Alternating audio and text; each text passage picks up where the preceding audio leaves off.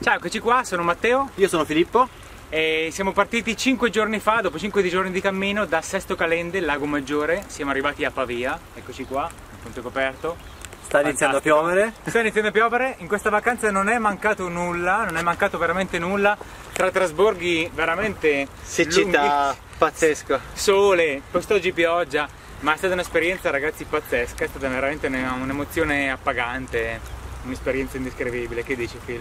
Tanta pace, tanta natura, tanta tranquillità, Ma si pagaglia parecchio. tanta fatica. Quanto ci avete messo ad arrivare a Pavia? 5 giorni Cinque pieni, giorni. 5 giorni di Cinque cammino pieni, giorni, esatto. Esatto, e tra tutto è stato molto faticoso, ma assolutamente soddisfacente. Sì, sì, sì, Consigliato. Consigliatissimo ragazzi.